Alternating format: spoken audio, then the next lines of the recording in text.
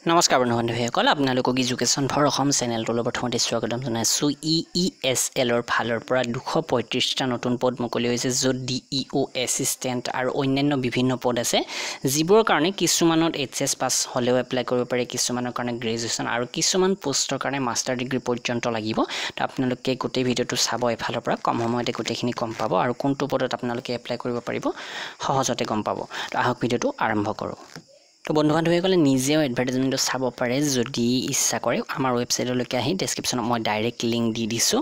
তো ইয়াতে ভালেখিনি পষ্ট আছে প্ৰকৃততে। প্ৰায় ছাব্বিছটা প্ৰকাৰৰ পষ্ট আছে আৰু ইয়াতে প্ৰথম কিছুমান পষ্ট যদি চাই যেনে ডেপুটি মেনেজাৰৰ সাতটা পষ্ট আছে ইয়াৰ কাৰণে বেচেলৰ ডিগ্ৰী ইঞ্জিনিয়াৰিঙত লাগিব।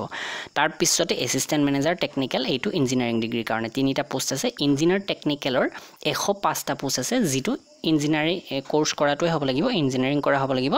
তাৰপাছত এছিষ্টেণ্ট ইঞ্জিনিয়াৰ চল্লিছটা পষ্ট আছে টেকনিচিয়ানৰ দুটা পষ্ট আছে যিটোৰ কাৰণে আপুনি যদি আই টি আই কৰিছে তেনেহ'লে এপ্লাই কৰিব পাৰিব। আই টি আই কৰিলেই এপ্লাই কৰিব পাৰিব।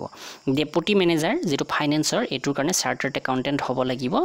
তাৰপাছত আছে অফিচাৰ ফাইনেন্স ইয়াৰ কাৰণেও চাৰ্টাৰ্ড একাউণ্টেণ্ট অথবা এম বি এ ফাইনেন্সত যদি কৰিছে তেনেহ'লে পাৰিব। এছিষ্টেণ্ট অফিচাৰ ফাইনেন্সৰ যিটোৰ কাৰণে এম কম বিচাৰিছে। সাতটা পোষ্ট আছে এছিষ্টেণ্ট ফাইনেন্সৰ তিনিটা পোষ্ট এইটোৰ কাৰণে মাথো বি কম বিচাৰিছে। বি কম যদি কৰিছে এইকেইটাৰ কাৰণে এপ্লাই কৰিব পাৰে। ডেপুটি মেনেজাৰ ছ'চিয়েল আছে মাষ্টাৰ ডিগ্ৰী লাগিব ছ'চিয়েল ছায়েন্সত এছিষ্টেণ্ট মেনেজাৰ আছে অফিচাৰ আছে। এই অফিচাৰ পোষ্টটোৰ কাৰণে গ্ৰেজুৱেশ্যন লাগিব লগতে পষ্ট গ্ৰেজুৱেশ্যন লাগিব। এছিষ্টেণ্ট মেনেজাৰ আছে তাৰোপৰি ইয়াতে আছে অন্যান্য এল এল বি কৰাসকলৰ কাৰণেও পোষ্ট আছে। তো এইদৰে আহি আহি পঁচিছ নম্বৰ যিটো পোষ্ট আছে এছিষ্টেণ্ট জেনেৰেল ইয়াতে আছে পোন্ধৰটা পোষ্ট এইকেইটাৰ কাৰণে মাথো গ্ৰেজুৱেশ্যন কমপ্লিট কৰিলে আপুনি এপ্লাই কৰিব পাৰে। তাৰপাছতে ডাটা এণ্ট্ৰি অপাৰেটৰৰ চাৰিটা পোষ্ট আছে যিকেইটাৰ কাৰণে হায়াৰ ছেকেণ্ডাৰী পাছ কৰিলে আৰু লগত যদি আপোনাৰ কম্পিউটাৰ নলেজ আছে তেনেহ'লে এপ্লাই কৰিব পাৰে। তো এই পোষ্টবিলাকৰ কাৰণে লিখিত পৰীক্ষা হ'ব। যিটো অল অভাৰ ইণ্ডিয়া হ'ব আমাৰ গুৱাহাটীতো হ'ব। ইয়াতে কিন্তু এপ্লিকেশ্যন ফিটো অকণমান হাই ৰাখিছে। তো এপ্লিকেশ্যন ফি আনৰিজাৰ্ভ আৰু অ' বি চিৰ কাৰণে এহেজাৰ ৰাখিছে আৰু অ' বি চি হেৰি এছ চি এছ টি হ'লে তো অ' বি চিৰ কাৰণে পাঁচশ টকা ৰাখিছে।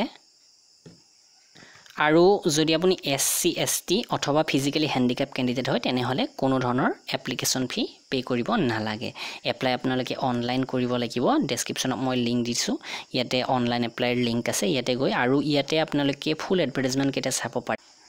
আৰু ইতিমধ্যে এইকেইটা পদৰ কাৰণে অনলাইন আবেদন আৰম্ভ হৈছে। ন জুন দুহেজাৰ বিছৰ পৰাই আৰম্ভ হৈছে। ইয়াৰ লাষ্ট ডেট হৈছে তেইছ জুন দুহেজাৰ বিছ তো যিখিনি বন্ধু বান্ধৱী ইণ্টাৰেষ্টেড তেওঁলোকে ভালদৰে চাই ল'ব।